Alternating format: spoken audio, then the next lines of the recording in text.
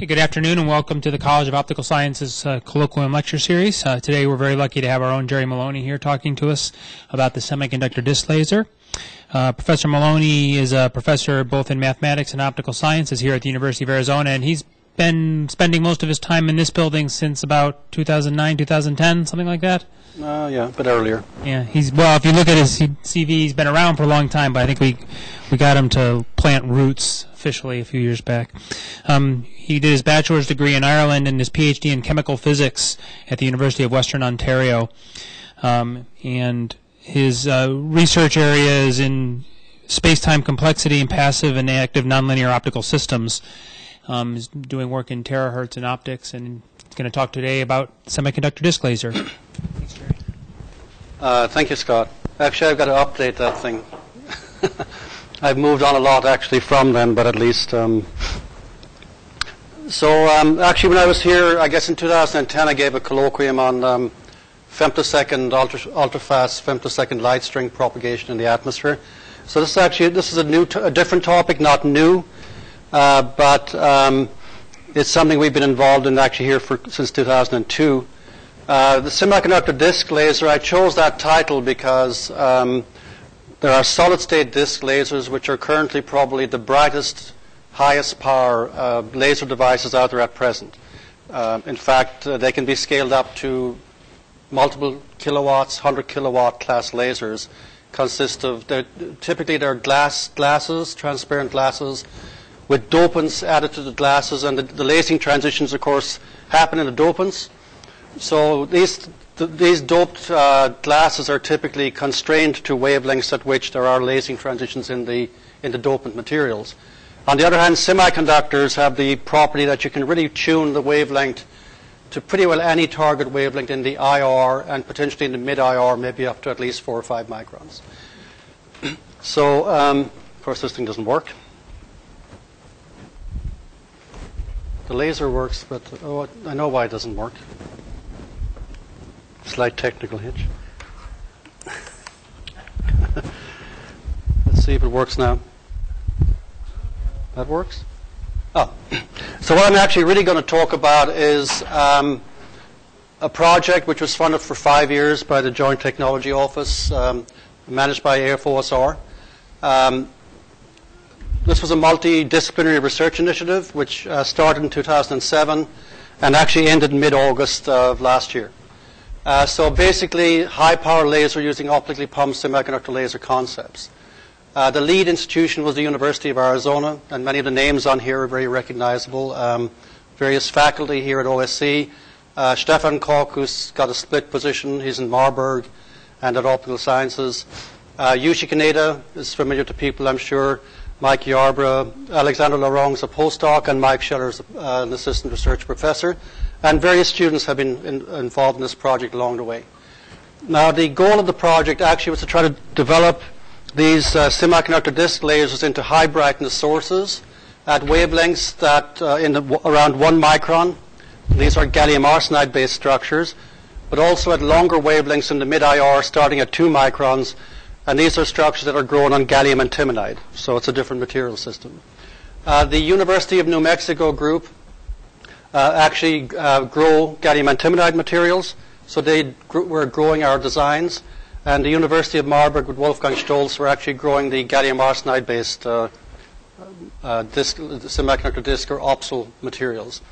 Uh, the designs actually were actually done by Nonlinear Control Strategies, which is a small company, and Jorg Hader actually was the key, and Jorg is the expert in this field. Jorg actually has an appointment here but I've put him here because he was paid on this project through his company affiliation. So, so anyhow, what I'll do is I'll start with an introduction, and what I'd like to do is I'd take you from the, the very beginning, in other words, the fundamental physics, the issues with the fundamental physics, all the way through to design, growth of the wafers, processing, and finally the production of the end uh, high power laser product.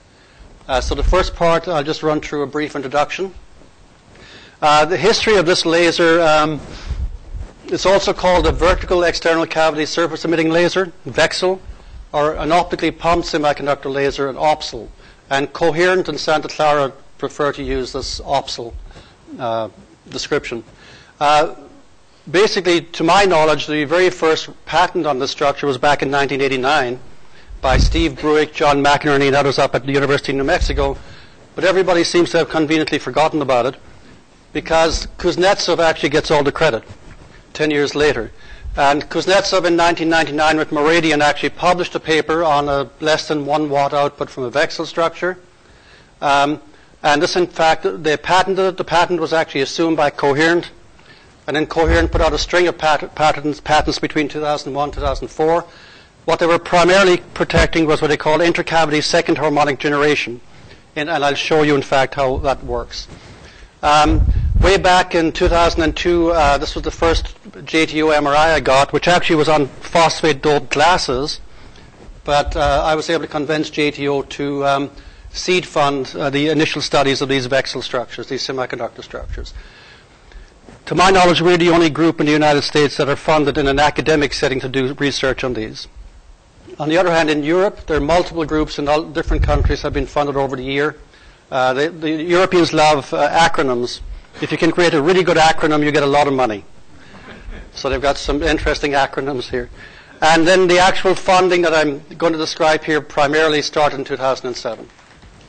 Uh, just, I'm not going to talk about this at any length, but it gives you an idea. Coherent's OPSL-based products. So essentially, they've got the so-called Genesis series, uh, Verdi series. The Verdi series effectively is 532 nanometer, different power levels. Tracer. If you look at these guys, you can see lots of different wavelengths, different power levels, and these are typically all high brightness sources. And in fact, they've got the so-called Sapphire OBIS laser system. So they're developing a lot of products based on these, on this uh, OPSL concept, but they are very paranoid about protecting their patents, which is probably the reason why no other companies are actually pursuing this technology. Um, this is actually a very nice slide I got from Jennifer Hastie at the Institute of Photonics in Strathclyde. This actually shows the wavelength span of these VECSEL or structures, or disk structures. So they run, this is all direct transitions. And you can generate second harmonics of these in principle or higher harmonic, or more subharmonics. So it starts around 670 nanometers and goes all the way up to about 5 microns. And uh, the one notable result actually is a result by our, our group here, which is the highest ever power out of a single chip. That's 100 watts out of a single chip. It was actually published by our German collaborators and by uh, Amy Wang within a month of one another. So, um, so here's the actual uh, optical disc laser, uh, the sort of semiconductor disc laser. So it consists of a Bragg grating, a Bragg mirror, high reflectivity Bragg mirror, a stack of quantum wells that are arranged in a periodic arrangement inside in this piece of semiconductor material. The entire structure ends up to be about six microns thick. So it's a very, very thin structure. You need, a, you need a lot of quantum wells in here because you want the single pass gain to exceed the losses so that you can actually set up a laser oscillation. So the idea is you come in with your pump laser, which is typically a broad area fiber uh, coupled uh, diode laser. Uh, the nice thing about the pump laser is that you, the target wavelength is not significant. It can be all over the place because if you pump into the barriers, you get extremely broad absorption barriers, so you don't have to temperature stabilize the pump wavelength. So what you effectively do is you take incoherent diode bar light and convert it into highly coherent emission at, a, at another wavelength. So here, for example, you might be using 808 nanometers pump and you're extracting, let's say, 1040 nanometers um, in the lasing emission. Um, people actually have built electrically pumped VECSELs, which I would um, not advise one to do. They're obviously very, very complicated. But they introduce lots of additional losses because you've got op- now you have to dope the Bragg mirror. They even have to introduce another Bragg on top to, so that they can actually dope it so they can have an N and P dope region. So there are very large optical losses because of the dopants.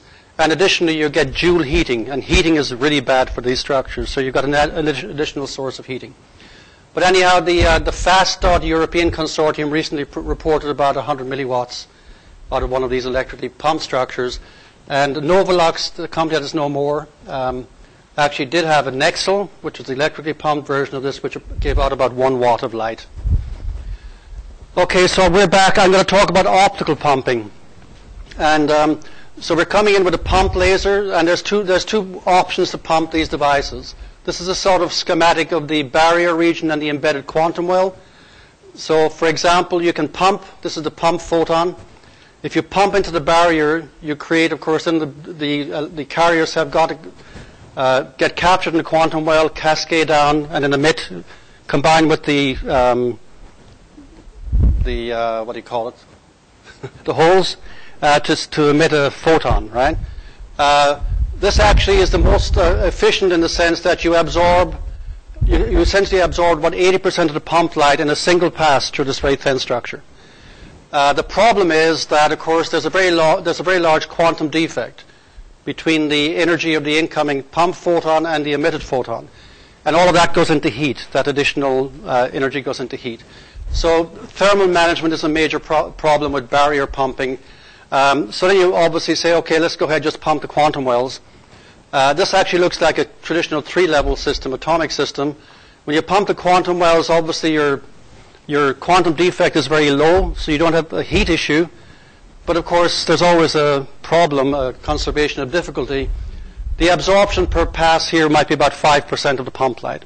So you have to somehow recirculate the pump light many times through the structure to get en- enough absorption. Um, and that's actually not trivial to do. In fact, now you've got two standing waves. You've got your pump wave and your um, emitting wavelength simultaneously. And you need, you need to start putting the quantum wells where these waves actually overlap in the structure. So for the most, essentially all that I'm going to describe will be barrier, barrier pump structures. Now the, the well pump structure actually is the closest analog of the thin disk solid state laser. This, as I said, if you if you cascade lots of these lasers together, you can get up to multi-kilowatt level powers. These are typically 100, 200 microns thick, so they're much, much thicker than their, our optical chips. Um, the idea with making them very thin is you're trying to avoid thermal lensing, which you get at very high powers. Because Then you get a thermal distortion of the beam. Uh, disadvantages as you, you, have to do multiple pass absorption. Here's an example. This is the actual doped uh, single, uh, your little doped uh, disc. So what you have to do is you have to recycle the pump multiple times with this parabolic mirror and extract the light in this direction. Uh, so that's a problem, uh, similar problem that with the with the quantum well pumping, for example. And there are wavelength restrictions because you can only laze where the dopants allow you to laze. And of course, and these dopants typically have fairly narrow absorption lines, so you have to stabilize the pump, your pump laser. So now this is actually a beautiful uh, diagram that uh, Alexander Laurain produced. It's actually a very realistic schematic of the actual of a laser of a Dopsel. The semi- semiconductor chip is sitting on here.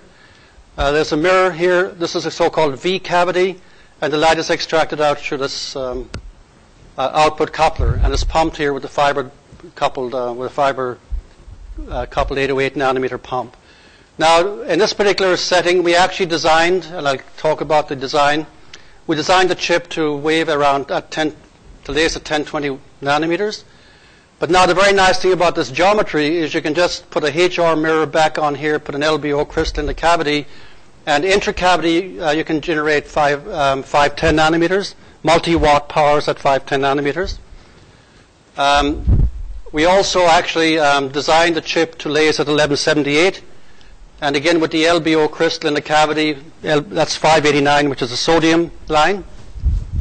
And at the time, a number of years ago, back in 2007, actually, we proposed this as a guide star in a shoebox. It hasn't been mounted on any telescope yet, but um, uh, it's, a, it's a very compact source of. Um, we got about five watts um, of uh, 589, 589 nanometers out of this chip. Um, you can then take the output of this guy and double it again in an LBO crystal. And there's a publication by Yushi Kaneda and various members of the group on that where you generate 295 in the UV. Um, then even early on, we actually designed the chip at 976 nanometers, generates 488, and then with 488 you can down, down convert to 4, 244 nanometers in the UV. So tremendous flexibility in these devices. You can get the direct lasing transition, and then through intercavity generation, you can actually generate all of these. You can go into the visible and down into the UV. Um, Jason Jones' group actually um, have used these VECSEL chips in this kind of a geometry where you go through two sequences of doublings. So he started off at 1014 down to 507 and needed 254 for to correspond with the transition in mercury. And uh, this was actually successfully used in actually building a mercury trap, again using these VECSELs. Um, the very nice spin-off of this is, as I said, you can do intercavity optics uh, by putting a um, nonlinear crystal, this PPLN crystal in the cavity. Um, we were able to demonstrate, in fact, that you can extract terahertz, and actually lots of terahertz power for terahertz, about 2 milliwatts at 1.9 terahertz of power at room temperature. And this device is highly tunable. You, the Etalon, actually, this little thin 100 micron Etalon, defines the IR. You, you run dual wavelengths in the cavity whose separation corresponds to the terahertz power, and then you use the crystal to do fre- uh, frequency different, uh, difference frequency generation. Um, you can replace the quantum wells by quantum dots, and this was actually done by the group at UNM. And again, they're generated wavelengths in the 1200, 1300 nanometer wave, and again about 5 watts of output power, which is pretty. This is a, an oscillator, a single oscillator. Uh, so now let me talk a little bit about how we design these chips. Uh, so this little schematic, uh, there's different levels of optimization. Before we ever get to growing a wafer and cleaving it and mounting it and etching, uh, the first thing we have to do is we need to optimize the quantum wells. We need to optimally design the quantum wells so they'll emit, emit maximally at the target wavelength. So what we essentially do, and this is actually done through the small company nonlinear control strategies, is one uses this full quantum design strategy, which I'll briefly sketch shortly. Uh, the idea is at the wafer level, if you grow a wafer, you can actually measure photoluminescence. So basically, you take your laser, you shine a weak light source on it, and uh, increase the intensity of the light source, and me- measure the spontaneous emission. The photoluminescence spectrum at different illumination intensities gives us enough uh, information to tell the grower whether they've correctly grown the device or whether they're inaccurate in their growth or whether they have problems in their growth. So at this stage, we can directly feed back to the grower and tell them they're right or they're, they're on, they're off. Uh, then at the next level, so we have to optimize the quantum, which is a many quantum many-body problem. We now have to do a sort of a structural optimization. So here is a schematic of the structure. We have the resonant periodic gain structure with a stack of quantum wells. The little blue lines, they're more obvious here.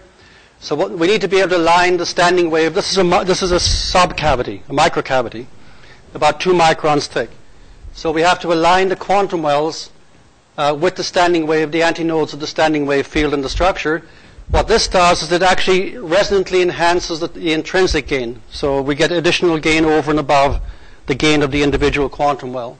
And this is called resonant periodic gain. So we get a gain enhancement. The problem is that in a laser structure, when you pump the structure, it heats up. So in fact, this is actually a full thermal, 3D thermal analysis, and the red means hot. So where the quantum wells are, where we're absorbing all the light, we're, we're generating lots of heat. This heat will in fact shift the, the it'll, by changing the refractive index of the structure, will actually shift the microcavity resonance. And what's interesting is the gain also shifts with temperature. It shifts much faster with temperature. So the key to this design is to be able to anticipate the temperature of the end running device and design it before you actually send it off for growth. And then we send it off to University of New Mexico or Marburg or wherever to actually grow the actual wafers. Um, here's sort of an example, of, and one of the issues is these are the input-output curves for a, a typical VECSEL structure. So we're this is the optical pump. This is the, um, actually, this is the output power. And this shows, in fact, that there's a very strong wavelength shift as we go from threshold all the way up to this rollover point. So what happens in these devices is as you pump them harder and harder, you arrange for the, the absorption peak to be much shorter than the microcavity resonance. Because you know when you pump it, things start shifting to longer wavelength. They're shifting at different rates. So the microcavity resonance is moving slowly, this guy's moving fast. When the gain peak catches up with the resonance, you get the maximum output power, and then it crosses that resonance and the device shuts off. And this is called thermal shutoff. So ideally what you'd like to do is uh, push this to as high a power as possible before thermal shutoff. Okay, some uh, physics and background here. As I said, and I never really talk about this in most meetings, but the key here is this quantum design. Uh, what we can actually do is this is, a, as I said, the semiconductor medium this is a simple two-band model uh, described by what's known as the, the, semiconductor, the semiconductor Bloch equations. Uh, and of course, these have to be coupled to Maxwell's equation if we're describing a laser. But for now, let's just focus on the semiconductor Bloch equations. So essentially what's happening here, this is a many-body system because we create multiple electrons and multiple holes. The, we've got the conduction and valence band. And the, the induced polarizations, coherences are between individual electron-hole pairs. These interact through Coulomb interactions, Coulomb repulsions, Coulomb attractions. Now these equations, if you've seen the optical Bloch equations for a two-level system, they're written to look very simple. Uh, this guy here is the polarization at a momentum k. You've got the energy gap, the energy difference between the electrons and holes. That's the band gap. Uh, this, in fact, is the inversion. Uh, this capital omega here is a so-called Rabi frequency. So this, in fact, is the polarization dynamics uh, for an individual momentum. And you also have the population inversions, which now are distribution functions, uh, these f sub k's for electrons and holes. Now, we know that there are many body effects, and everybody quotes this.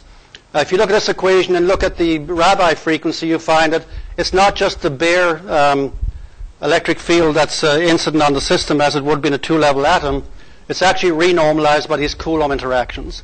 So what actually happens is the Rabi frequency is actually modified once you start generating excited carriers and holes.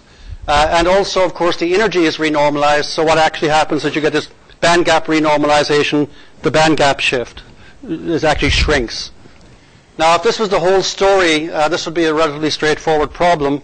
What people usually do with the optical Bloch equations, and actually with these equations also, is they say, well, these correlation terms, let's re- replace this guy by uh, a 1 over T2 times P sub k.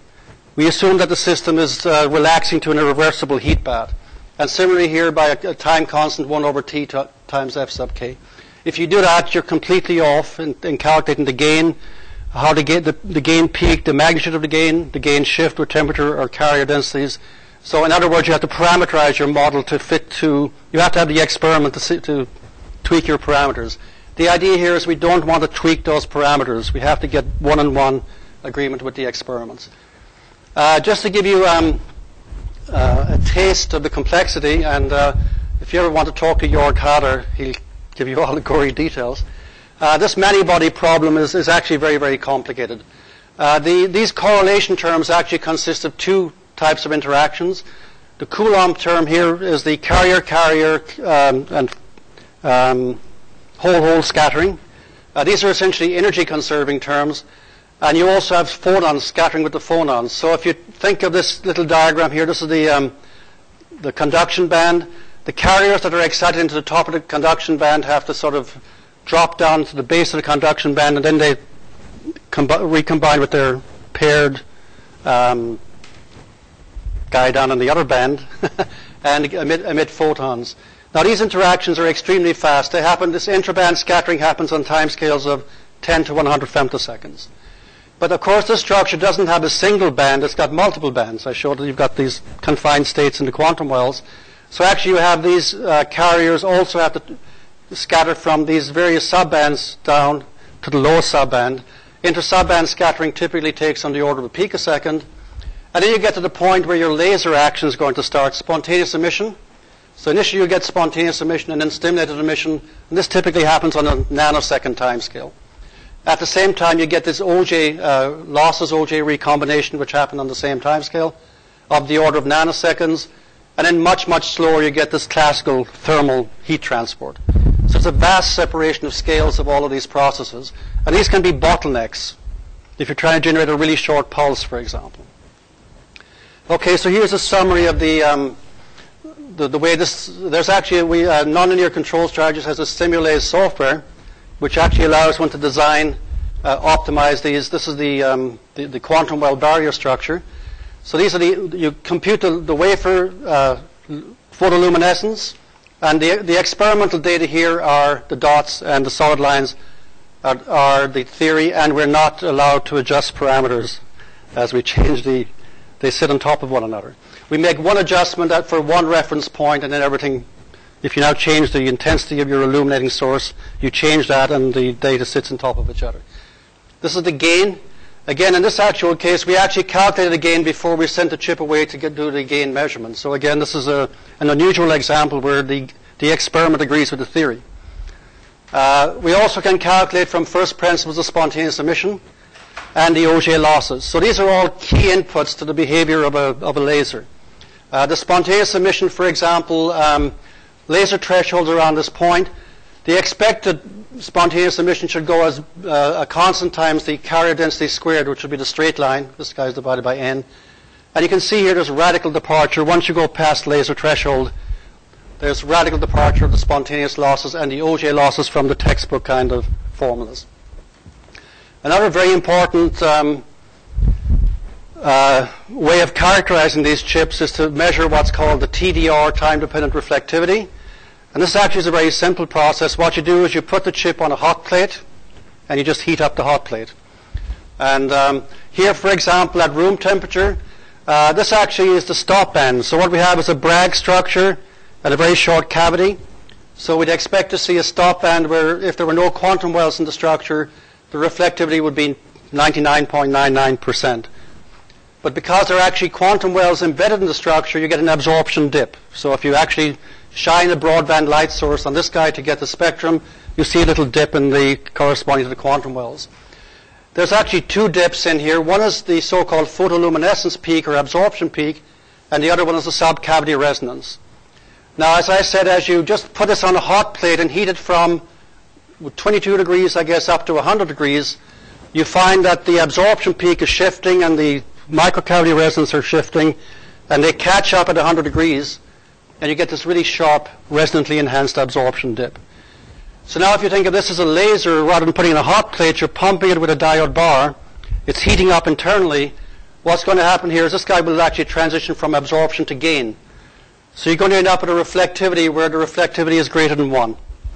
So essentially the optical chip acts like an active mirror, effectively. It's an amplifying mirror in your, in your two mirror cavity.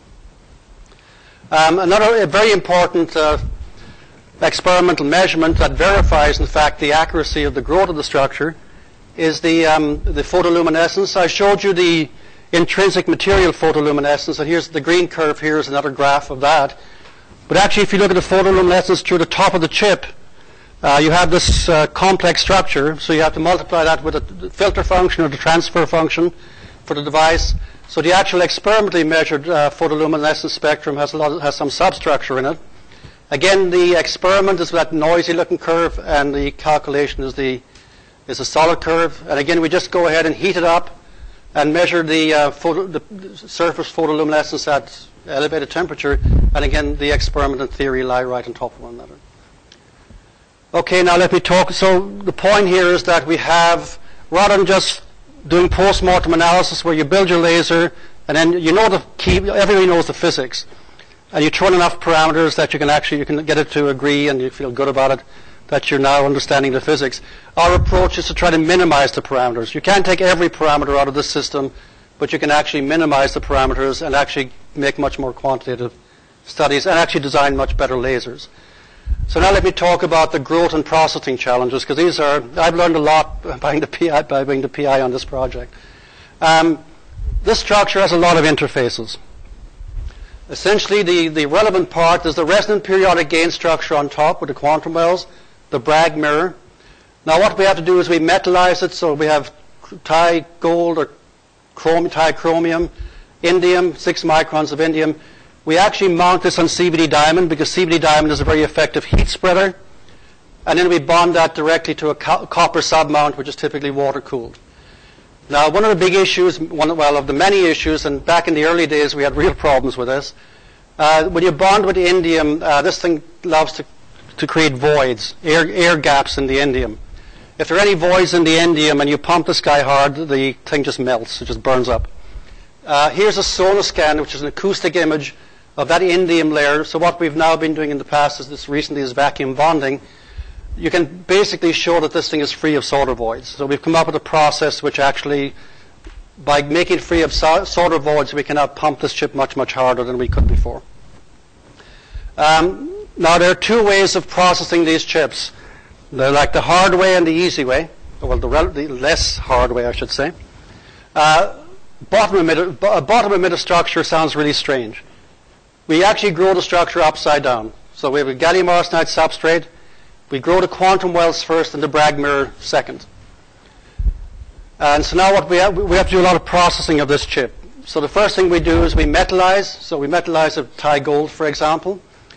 Then we essentially just flip chip bond. We flip it over. And we have to also metallize the diamond, and this is the indium on the diamond. So now this is actually bonded in a partial vacuum system. And the last step, there's about five or six hundred microns of gallium arsenide substrate on here. Uh, we have to completely etch away the, the substrate. There are lots of challenges here. You want to make sure your etch, sorry, stops. and some of us had a few accidents where literally they etched away the entire device chip, but we won't, I won't point any fingers. But the idea here is the cap, this cap layer typically acts, acts as an etch stop layer. Uh, so this is the bottom. This actually is the thinnest structure you can process, but it's actually challenging to grow. And this is the structure that was grown by the group at Marburg. The other option, the top emitter, which was grown on the gallium antimonide material at the by the people at UNM, we just grow a traditional structure. Uh, again, we don't want, we want to get rid of the substrate, so we, um, we lap off some of the substrate, and then we mount it. Uh, the heat is still flowing through the DBR, now it has to flow through 100 microns of gallium arsenide. So in fact, as a final step, we uh, add an, an, a transparent single crystal diamond to try to take the heat out of top. Now this might look like the most efficient way because the diamond heat spreader is closest to the, the hot region of the chip. Uh, but this is a real problem. You actually have to contact us with the heat sink. And all of the devices that have performed the highest power so far are bottom emitter devices. So even though this looks very attractive, of course you've also got this intracavity diamond to deal with also, so because you're okay. So this is the actual reactor at um, at the University of Marburg. And this was actually um, uh, a full production reactor with um, grows 12 uh, 4-inch wafers, 12 4-inch wafers. At the University of New Mexico, we have a mid-IR uh, growing these gallium antimonide structures. Um, they have actually a very interesting growth mode, which I would normally talk about, but I may not have a lot of time to talk about here. One of the big deals with any kind of semiconductor growth is you want you, you need a substrate that has a lattice constant that's as close as possible to the whatever you're trying to grow on it, right? So um, that that restricts what you can grow and on, on what substrate. But actually here, this is a very here you can have a very strong lattice mismatch growth, essentially across a single atomic layer. This is called interfacial misfit dislocation arrays. And we actually did grow a structure, a VECSEL structure, a mid-IR VECSEL structure with this layer. And there were issues with it, but actually we got a record pulsed output from that device. But this actually could solve, if, if it worked, could really solve this lattice mismatch problem. Okay, success stories. So what, what do we do with all this stuff? okay, so first of all, um, this actually was Amy Wang's, um, Amy who graduated last August. Um, Amy's experiment. So basically, this is the idea here was we wanted to see if we could extract the maximum power from one of these chips. VECSEL chip is here. It's pumped by two actually 200 watt 808 nanometer pumps, and it's a linear cavity and then a 4%, 5% um, transmission. So the idea here is the, this is the actual these pump diode the the fibers are typically this Apollo laser has a 200 micron diameter fiber. So this is a multi-mode fiber, like it's not a single mode fiber, very highly multi-mode. And actually, we had another pump from DILAS, uh, which was a 400 micron fiber, and this guy had a very strange peak in the middle, which is very bad, because that means that if you pump with that guy, the center of the chip will heat up, it'll shut off in the center. So uh, the people at DILAS said, oh, just twist it. There's 200 watts coming out of this thing. So Amy was very reluctant to sort of wind it around in a loop, but they said, go ahead, no problem. And we actually, it was their, it was their laser, they loaned it to us, so uh, we didn't have a lot to lose. So actually it looks much better when you bend the fiber. And uh, this was the actual setup to pump. Now, in this particular device, after you know five years of a project, we realized that, again, this is the TDR, that way of figuring out if the growth is correct or not. We wanted to actually move the um, the absorption peak further away from the microcavity resonance, such that we have to pump it harder, so the threshold goes up. But we also anticipate that the slope, uh, the slope also um, increases dramatically. So this was a, what we call a large tuning device. Now, one thing I didn't mention is the nice thing about these chips is if you increase the pump spot radius, you should be able to scale the power up uh, by a factor. Actually, it goes as R squared, the power scaling. So by at a 750 micron pump spot, uh, got up to about 60 watts, up to 800 microns, well, 100 watts, and actually uh, cooling down to zero degrees centigrade, we got over 100 watts out of a single chip, which was actually a result that uh, was published last year. Um, one month earlier, our collaborators in Marburg, uh, Amy had the misfortune that the Apollo laser died, and she had to send it back to get it fixed. So uh, Bernd Hein in, in, um, in um, Marburg actually a, was a step ahead of her. They had a 400 watt laser. They actually uh, also exceeded 100 watts from a single chip. And they did something very interesting. The cap layer on that device, by etching down the cap layer, they could control the wavelength. So they shifted the wavelength from 1035 down to 1028 nanometers. So there's a lot of flexibility in controlling the wavelength on these devices. Um, thanks to Mike Yarborough, who's sitting up there. Mike uh, has lots of contacts uh, in the business world. That's the advantage of being around for a long time. um, Mike actually found some cronies of his who had gave him an old dermatology laser that was dead, and um, so we got the alexandrite rod, and it was flash lamp pumped. This produced about 800 nanosecond pulses with peak powers in the order of a kilowatt or a few kilowatts. It's not a very nice uh, laser system, as Mike will attest to. But actually, this was used to pulse pump these 1040 nanometer chips. And I should, the, the actual flash lamp, the power supply was, was applied by Applied Energetics, who I think are still around in Tucson. They closed last week. Okay, well, it wasn't our fault. uh, and so basically, uh, we, we got a peak power. The pulses, as I said, were about 800 um, nanoseconds, a 400 watt peak power, which is pretty good. And the chip, the, the chip held up actually for, at, at, that kind of power. Okay, so let me move along here. Um, more recently, uh, Alexander Laurain has, we're, we're, trying to get a single frequency oscillator, high power single frequency oscillator. So this is actually a set up a V cavity uh, with a birefringent filter in there. So um, Alexander's managed to get up to 15 watts of uh, single frequency output from a, a chip at uh, 1020 nanometers. And uh, this actually does mode hop, and he's working now on um, trying to use an external locking cavity to stabilize the. But actually, 15 watts from an oscillator is quite remarkable. Most fibers that I know need amplifier stages to boost up the, um, the single mode power. So this is single frequency. Uh, if you put, again, what he put the LBO crystal in the cavity, he generates a second harmonic at 510. And again, this is pretty stable, but needs further stabilization. Uh, Mike Scheller, um, the obvious thing, people have been, is to see if we could mode lock this guy. So basically, replacing one of the mirrors by a SESAM, a saturable absorber.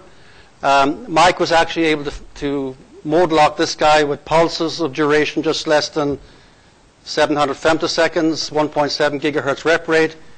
Uh, 5.1 watt average power, which is actually very high average power.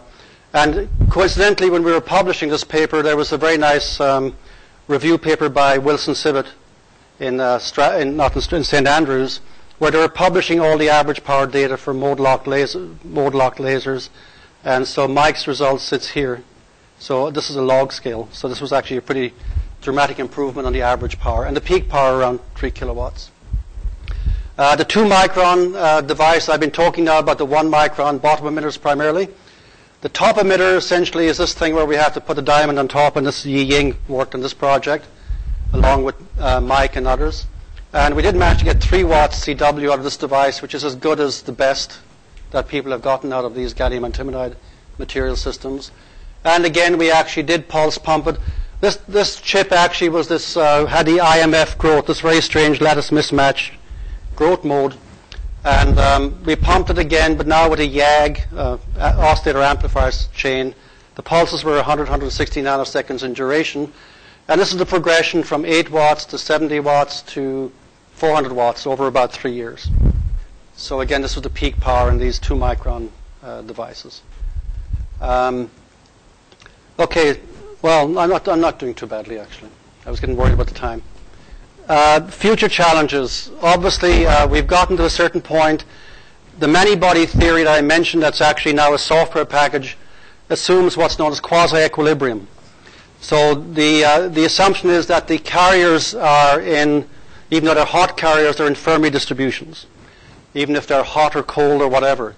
Uh, but actually, the um, if you drive these chips hard, or if you want to generate multiple wavelengths, as we, as I mentioned, for terahertz generation, um, you're going to generate these these carriers are going to be driven far from equilibrium. And let me just give you a few. Uh, back to this slide again. Um, so basically, as I said, these are the terms that are in the optical Bloch equations are sort of trivial. They're, they're these, these irreversible relaxation terms. Here, these involve very, very fast, coherent dynamics on femtosecond timescales. So they can't be, they cannot be report, replaced by a damping coefficient. Uh, the, the, you have to calculate these full many-body terms. They're, this is a huge calculational project. But in effect, uh, the reason why you need to do this is illustrated here. Uh, this is actually is a graph of the um, electron density as a function of electron momentum, normalized to the Bohr momentum. The usual Fermi distribution is this red curve.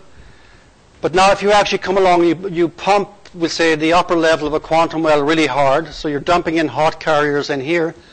Uh, these hot carriers, through scattering with phonons, are going to cascade down to the bottom of the conduction band, and the holes are going in the other direction. And so you're going to end up here with cold carriers that are taken out of the lasing wavelength. So essentially what you have is a transition of momentum from high momentum down to the momentum at which the, the, the stimulated emission happens, the carriers are taken out. And this is called a kinetic hole. And it's not a spectral hole. Now, the actual gain, on the other hand, the gain actually, when you calculate a gain curve, you integrate over this, these momenta. And the, the corresponding gains don't show any spectral holes or holes in the distributions. There are very subtle changes in the gain, maybe it's flattening or whatever, which actually does profoundly affect the dynamics or stability of the laser, but this actually is occurring or reflected properly in the, in the carrier distributions, these kinetic hole burnings. Um, and here, in fact, is a sort of a nice schematic showing, um, again, this is the graph of the, uh, the occupation probability for the, this is the kinetic hole burning, and uh, there's too many holes here. There's the electrons on the holes. This is the electron dist- distribution. This is the hole distribution. So when we generate that terahertz signal, for example, the nice thing about a semiconductor is that you don't, the, the device necessarily isn't going to try and run at the maximum of the gain. You can enforce, you can burn holes, as I showed there, at any arbitrary wavelength in those distributions. So by putting a very thin etalon into the cavity, that etalon will have a prescribed uh, will support modes, we'll say, with a six, seven nanometer spacing. You can force those wavelengths to run and amplify in the semiconductor laser. So what actually happens here is by putting a thin etalon into the cavity, you, are simultaneously running on two separate wavelengths. And this separate wavelength we actually used with this nonlinear crystal to do difference frequency generation and generate our terahertz beam. If you simply tilt the etalon in the cavity, you can actually tune the the terahertz of the space. So these are non-equilibrium, pro- these are significant non-equilibrium processes where you're getting strong departures from these usual Fermi distributions. Now, if you're going to generate the ultimate shortest pulse possible in a semiconductor material, uh, currently uh, are down to about 200 femtoseconds uh, mode locked.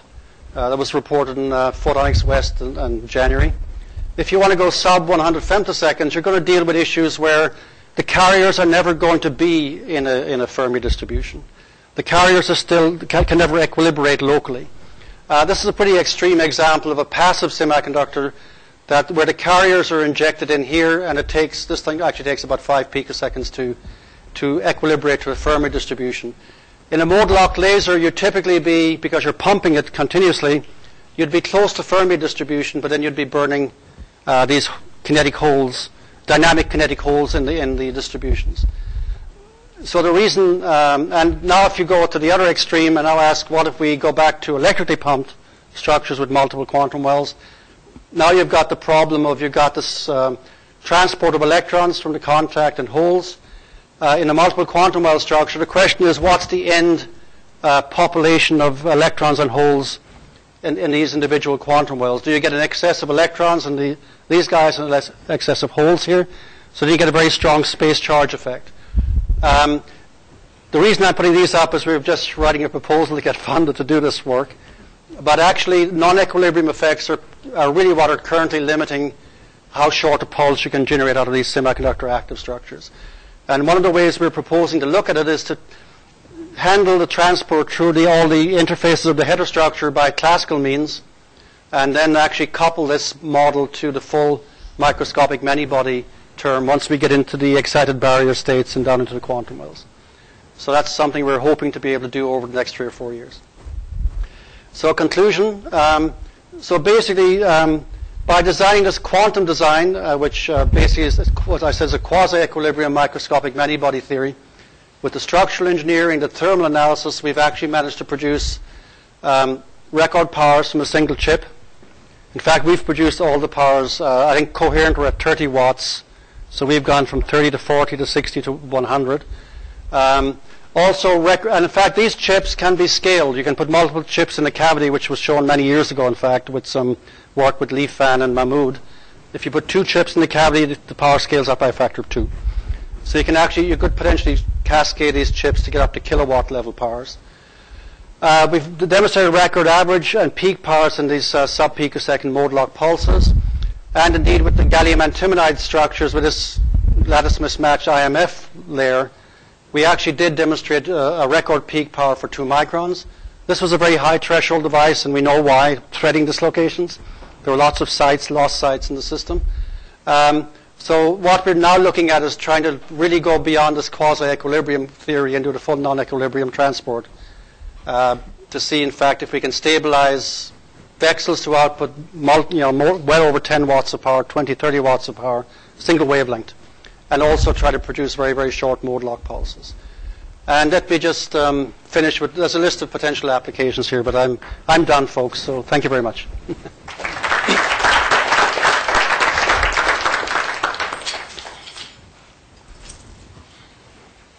Thank you, Jerry. There's plenty of time for questions.